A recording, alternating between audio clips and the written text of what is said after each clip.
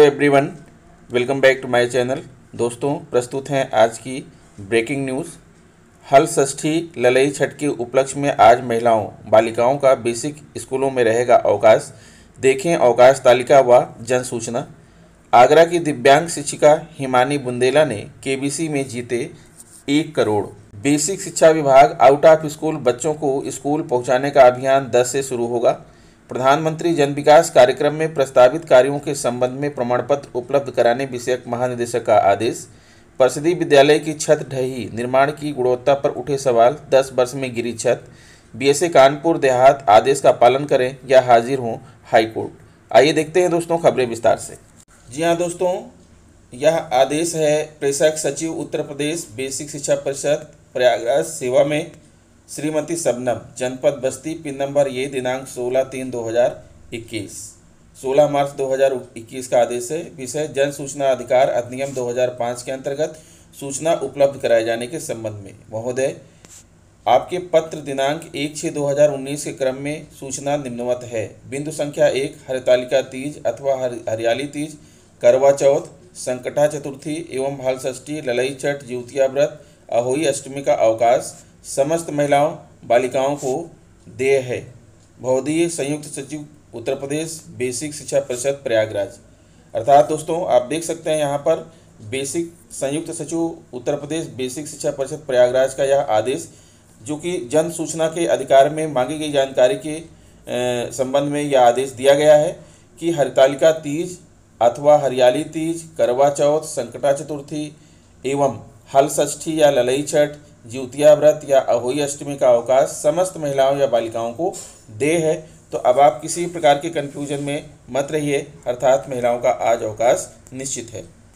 अब आप दूसरा आदेश देख पा रहे हैं दोस्तों। ये आदेश है महानिदेशक स्कूल शिक्षा एवं राज्य परियोजना निदेशक कार्यालय, प्रेषक राज्य परियोजना निदेशक, राज्य परियोजना कार्यालय समग्र शिक्षा उत्तर प्रदेश, लखनऊ सेवा में जिला बेसिक शिक्षा अधिकारी जनपद सुल्तानपुर, सिद्धार्थनगर, सीतापुर, लखनऊ, शामली संत कबीर नगर सहारनपुर, रामपुर, मऊ, मुरादाबाद, मेरठ, बिजनौर देवरिया, गोंडा, कानपुर, देहात, कानपुर नगर, गाजियाबाद, आजमगढ़, इटावा अमेठी अंबेडकर नगर, अयोध्या, कन्नौज, बलरामपुर, जौनपुर, बुलंदशहर, बहराइच, अमरोहा, हरदोई एवं बदायूं और यह आदि से सत्ताईस अगस्त को प्रधानमंत्री जन विकास कार्यक्रम में प्रस्तावित कार्यों के संबंध में प्रमाण पत्र उपलब्ध कराने विषयक। महोदय, आपके जनपद में प्रधानमंत्री जन विकास योजना के अंतर्गत जनपद स्तरीय समिति द्वारा विभिन्न परियोजनाएँ प्रस्तावित की गई हैं। उक्त जनपद स्तरीय समिति द्वारा अनुमोदित नवीन प्रस्तावों के संबंध में इस आशय का प्रमाण पत्र प्रस्तुत किया जाना है कि उक्त समस्त कार्य किसी अन्य योजना में प्रस्तावित नहीं है तथा सभी प्रस्ताव विभागीय दिशा निर्देश मानक एवं विशिष्टताओं के अनुसार ही प्रस्तावित किए गए हैं तथा जिन प्रस्तावों के संबंध में विभागीय निर्देश उपलब्ध नहीं है, वहाँ कार्यदायी संस्था द्वारा नियमानुसार प्रस्ताव तैयार किए गए हैं। उक्तानुसार संलग्न प्रारूप पर एक सप्ताह के अंदर प्रमाण पत्र प्रस्तुत करें। भौदी अनामिका सिंह राज्य परियोजना निदेशक। और ये है दोस्तों, वह प्रारूप, प्रधानमंत्री जन विकास कार्यक्रम वर्ष 2021 बाईस प्रमाण पत्र प्रमाणित किया जाता है कि प्रधानमंत्री जन विकास कार्यक्रम के अंतर्गत जनपद के विभिन्न प्राथमिक, उच्च प्राथमिक, कंपोजिट विद्यालय, कस्तूरबा गांधी आवासीय विद्यालयों में प्रस्तावित कार्यों का विवरण निम्नवत है। और ये फॉर्मेट दिया है, इसमें भरना है। उक्त विवरण में प्रस्तावित समस्त कार्य किसी अन्य योजना के अंतर्गत प्रस्तावित नहीं किए गए हैं, तथा समस्त कार्य विभागीय मानकों दिशा निर्देशों एवं विशिष्टताओं के अनुरूप ही प्रस्तावित किए गए हैं। हस्ताक्षर, जिला बेसिक शिक्षा अधिकारी, जनपद।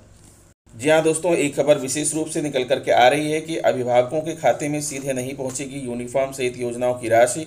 अब स्कूल वार मिलेगा budget. Kanpur J N N basic शिक्षा विभाग द्वारा संचालित योजनाओं के तहत बच्चों को यूनिफॉर्म मिड डे मील समेत अन्य सुविधाओं के लिए हर साल स्कूल स्कूल वार बजट जारी किया जाता था। जब इस व्यवस्था पर सवाल उठने लगे और अभिभावकों की शिकायतों की सूचना शासन तक पहुँची तो इस सत्र के शुरू होने से पहले आला अफसरों ने तय किया कि सभी योजनाओं की छात्रवार राशि उनके अभिभावकों के खातों में भेजी जाएगी। इसके लिए युद्ध स्तर से खातों का सत्यापन कार्य शुरू, ज़रूर शुरू हुआ, हालाँकि लचर कार्य कार्यशैली के चलते उसकी रफ्तार थमसी गई।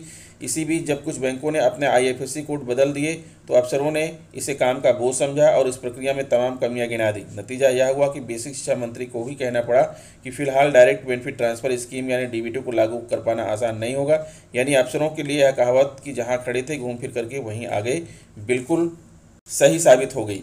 डीबीटी योजना से सीधे खाते में पहुंचेगी राशि। B S doctor Pavan Tiwari बताते हैं कि डीबीटी योजना के तहत शासन द्वारा तय की गई प्रतिशत राशि उनके अभिभावकों के खाते में सीधे पहुंचेगी।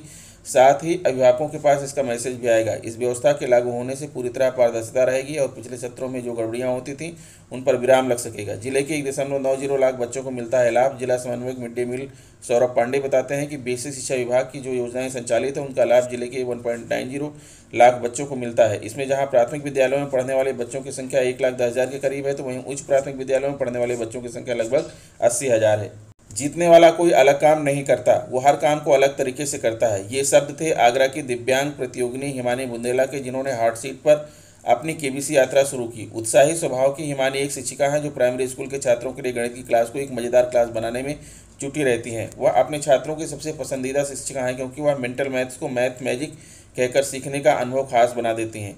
उनकी केबीसी यात्रा 30 और 31 अगस्त को शुरू हुई, जहाँ वो शो के होस्ट अमिताभ बच्चन को मेंटल मैथ्स की कुछ ट्रिक्स भी सिखाती नज़र आएँगी। साल 2011 में हिमानी एक दुर्भाग्यपूर्ण दुर्घटना की शिकार हो गई थी, जिसके कारण उनकी दृष्टि धुंधली हो गई थी। कई ऑपरेशन के बाद भी डॉक्टर उनकी आँखों की रोशनी नहीं बचा सके। एक दर्दनाक अनुभव का सामना करने के बावजूद हिमानी ने अपनी उम्मीदों को गुम नहीं होने दिया और वक्त के साथ अपनी ज़िंदगी, अपने जुनून के लिए समर्पित रहीं। दो बच्चों को ये सिखा रही हैं और वो इसके बारे में जागरूक बना रही हैं कि विशेष ज़रूरत वाले लोगों को किन परिस्थितियों का सामना करना पड़ता है। हिमानी खुश रहने और खुशियाँ फैलाने में दृढ़ विश्वास रखती हैं। हिमानी ने कहा, यूँ तो ज़िंदगी सब काट लेते हैं, मगर ज़िंदगी जियो ऐसी की मिसाल बन जाए। गेम शो कौन बनेगा? करोड़पति के तेरहवें सीज़न में हिमानी बड़े ध्यान से और बहुत सटीकता के साथ प्रश्नों का उत्तर देती नज़र आएँगी और अपने उत्साह और सकारात्मक रूप से सभी को आकर्षित करेंगी। एक करोड़ के सवाल का सफलतापूर्वक जवाब देने के बाद वह उसी उत्साह के साथ सात करोड़ के सवाल का जवाब देने का प्रयास करती नज़र आएँगी। हिमानी कहती हैं गेम शो कौन बने? करोड़पति में आना और अमिताभ बच्चन से मिलना हमेशा एक सपना रहा है और मुझे खुशी है कि मैं इसे पूरा कर पाई। उन्होंने मुझे शो के सेट पर इतना सहज महसूस कराया कि मुझे बिल्कुल भी घबराहट नहीं हुई। दुर्घटना के बाद से मेरा जीवन आसान नहीं रहा। हम में से बहुतों को, खासतौर पर मेरे माता पिता मेरे भाइयों बहनों को अपनी रोजी रोटी वापस पाने के लिए बहुत संघर्ष करना पड़ा। आउट ऑफ़ स्कूल बच्चों का स्कूलों में नामांकन 10 सितंबर से 15 अक्टूबर व दूसरे चरण में 15 से 31 नवंबर तक किया जाएगा। इस संबंध में महानिदेशक स्कूल शिक्षा नामिका ने आदेश जारी कर दिया है। इन बच्चों का मूल्यांकन पहले चरण में 16 से 31 में अक्टूबर और दूसरे चरण में 1 से 12 दिसंबर तक किया जाएगा। इस वर्ष प्रदेश में 6.47 लाख आउट ऑफ़ स्कूल बच्चों को स्कूल पहुँचने का लक्ष्य रखा गया है। आउट ऑफ़ स्कूल में पाँच से चौदह वर्ष के बच्चों का चिन्हांकन किया जाएगा। दूसरे चरण में ईट भट्टे खादान में काम करने वाले काम करने वालों या पलायन करके गाँव आने वाले बच्चों बच्चे शामिल होंगे। वहीं आंगनबाड़ी आने वाले वे बच्चे जिनकी आयु एक जुलाई 2021 को पाँच वर्ष हो गई है, उनका अनिवार्य रूप से प्राइमरी स्कूल की कक्षा एक में नामांकन करवाया जाएगा। दो लाख रुपए की लागत से बने प्राथमिक विद्यालय खारगू चांदपुर प्रथम के अतिरिक्त कक्ष की छत बारिश के दौरान भरभरा कर ढह गई। विद्यालय बंद होने के कारण कोई हादसा तो नहीं हुआ। बीईओ दिनेश कुमार मौर्य को अभी तक इस मामले की जानकारी ही नहीं, उन्होंने बताया कि छत ढहने ढहने की सूचना उन्हें अभी तक नहीं मिली है। लगभग दस वर्ष पहले निर्मित इस कक्ष की गुणवत्ता पर सवाल उठ रहे हैं। शिक्षा विभाग के अधिकारी इस मामले में पर्दा डालने की कोशिश में जुट गए हैं। प्रधानाध्यापक सुकुमार ने बताया कि वह दो वर्ष से इस विद्यालय में तैनात हैं। बीआरसी के लेखाकार अमित सिंह ने बताया कि प्रधानाध्यापक द्वारा विद्यालय की छत ढाने की सूचना कार्यालय पर दी गई है। घटना से बीईओ को अवगत करा दिया गया है। बताया जा रहा है कि वर्ष 2010 में कच्छ निर्माण के दौरान भवन प्रभारी रहे। शिक्षक वर्तमान में एक प्राथमिक विद्यालय के प्रधानाध्यापक के पद पर तैनात हैं। निर्माण की गुणवत्ता पर उठे सवाल। दस वर्ष में गिरी छत। विद्यालय की छत महज दस वर्षों में भरभराकर गिरने की घटना पर स्थानीय अभिभावक निर्माण की गुणवत्ता पर सवाल खड़ा कर रहे हैं। इलाहाबाद हाईकोर्ट ने जिला बेसिक शिक्षा अधिकारी कानपुर देहात सुनील दत्त को आदेश का पालन करने का निर्देश दिया है। कोर्ट ने याची के पति सहायक अध्यापक की ग्रेचुटी का आठ फ़ीसदी ब्याज के साथ तीन माह में भुगतान करने का निर्देश दिया था। कोर्ट ने कहा है कि यदि आदेश का पालन नहीं करते तो आठ सितंबर को अवमानना आरोप निर्मित करने के लिए कोर्ट में हाजिर हों। यह आदेश न्यायमूर्ति प्रकाश पंड्या ने कुंती देवी की अवमानना याचिका पर दिया है। याचिका के अधिवक्ता का कहना है कि सेवाकाल में याची के पति की मृत्यु हो गई। साठ साल में सेवानिवृत्ति लेने का विकल्प नहीं भरने के कारण ग्रेजुटी देने से इनकार कर दिया। हाईकोर्ट ने कहा, सेवानिवृत्ति से पहले मृत्यु हो गई, ऐसे में विकल्प नहीं भरने के कारण ग्रेजुटी देने से इनकार नहीं कर सकते। भुगतान करने के आदेश का पालन नहीं किया गया तो यह अवमानना याचिका दायर की गई। सुनवाई आठ सितंबर को होगी। तो दोस्तों, ये रहा आज का बिग ब्रेकिंग न्यूज़ आशा करता हूँ वीडियो आपको अच्छी लगी होगी। अगर वीडियो आपको अच्छी लगी है तो प्लीज़ मेरे चैनल को सब्सक्राइब कर लीजिए। बेलाइकन को प्रेस कर दीजिए। मिलते हैं आपसे नेक्स्ट वीडियो में। तब तक के लिए नमस्कार।